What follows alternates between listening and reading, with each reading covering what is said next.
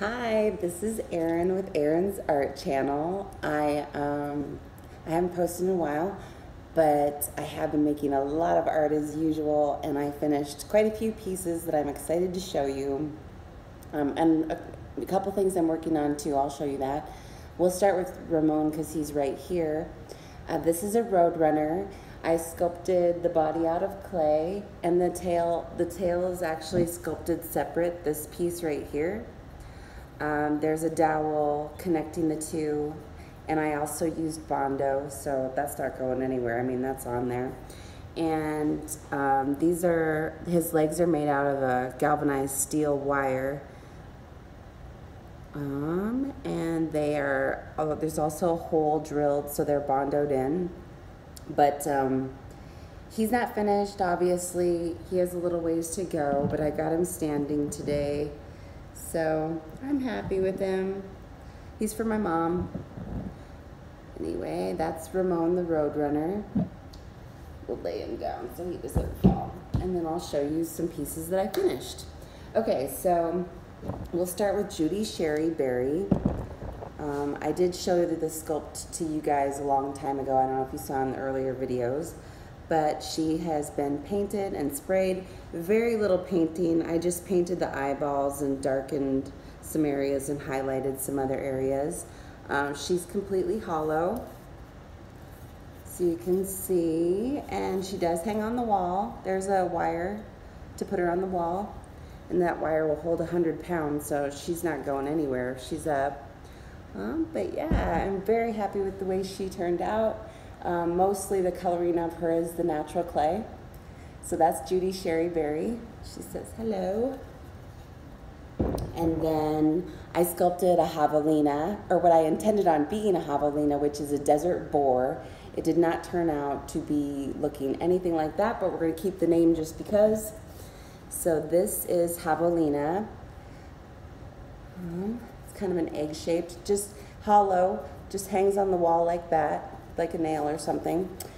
And um, get you close so you can see the face. I feel like this bear mask is re reflective of the time we're in with COVID because we all have to wear masks. So it's just kind of like a lighter, a lighthearted take on it. And the egg shape, I think, happened because we're kind of all being, our lives are being reborn.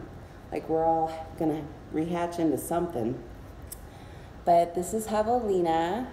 Super happy with how he turned out.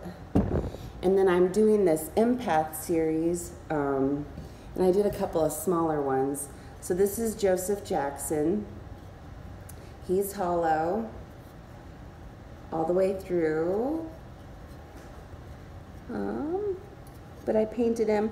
Again, I didn't paint it much, I just highlighted it. Mostly he is the natural color of the clay. And he just hangs on the wall with this little hook in the back. Joseph Jackson, he says hello. And then this other empath I made, this is Rita. Rita is also hollow, and she has an amethyst crystal um, that uh, amethyst very good for healing energy, so I like having that on her. Her face um, is actually built out of a different colored clay or a different type of clay. So that's really naturally how it looks. Uh, and I like that. I like to keep the color of the clay because it's just, it's so great. So I don't want to hide it. And I paint them, just highlight and natural. And this is Rita. And this crystal, I mean, that's in there. It's not coming out.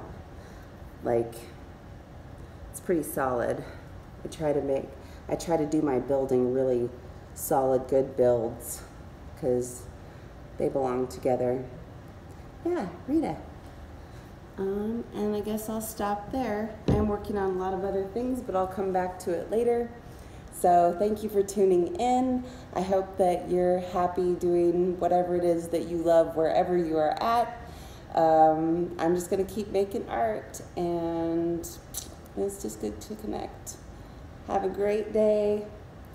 I hope you're doing something that you love. Bye.